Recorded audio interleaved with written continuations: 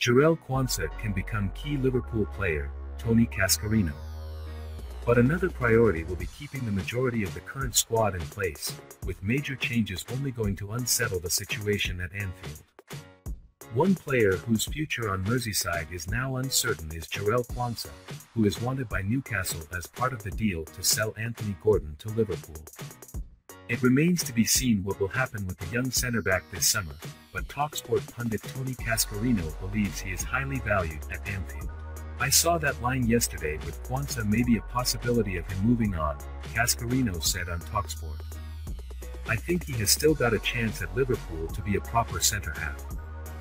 He has got a big future and I think Liverpool understand that as well. Will Liverpool let go of Jarell Quansah? There remains a chance that Liverpool can agree a deal for Gordon, but it will only take place without Quansah being involved.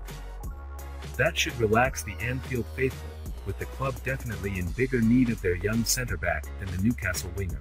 Gordon has impressed for the Magpies and indeed for England in recent times, but Liverpool are blessed with plenty of talented attackers at this moment in time.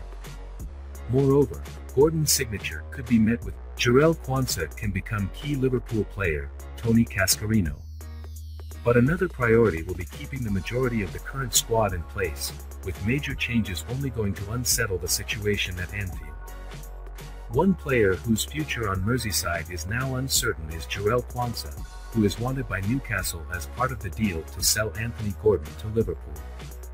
It remains to be seen what will happen with the young centre-back this summer, but TalkSport pundit Tony Cascarino believes he is highly valued at Anfield.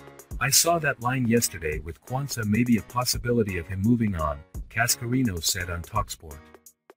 I think he has still got a chance at Liverpool to be a proper centre-half. He has got a big future and I think Liverpool understand that as well.